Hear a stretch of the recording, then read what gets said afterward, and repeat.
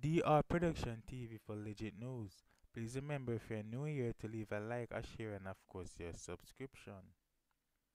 With the slim success that the Jamaican authorities have scored over the last three years with the prosecution of four criminal organizations, must rise on the ability of much-touted anti-gang legislation to secure conviction against 33 alleged members of a ruthless Klansman gang. The alleged gangsters, including Andre Blackman Bryan, the reputed leader of the One Don Gang, a splinter of the St. Catherine North-based Klansmen, are all expected to begin their trial today in the Home Circuit Court. The trial, which is believed to be the largest anti-gang trial in the English-speaking Caribbean, will see the 32 men and one woman being tried under the Criminal Justice Suppression of Criminal Organization Act 2014, better known as the Anti-Gang Legislation, on, on an indictment with 25 counts for allegedly being part of a criminal organization in a judge-alone trial.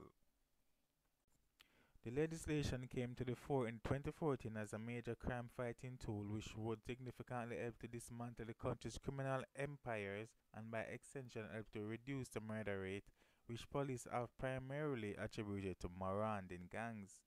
But the law has more failures than successes as all members of the Dexter Street, Burglar Gully and King Valley gangs prosecuted under the Anti-Gang Act were freed, while 15 of 24 defendants arrested in the Uchence Wilson case were also acquitted.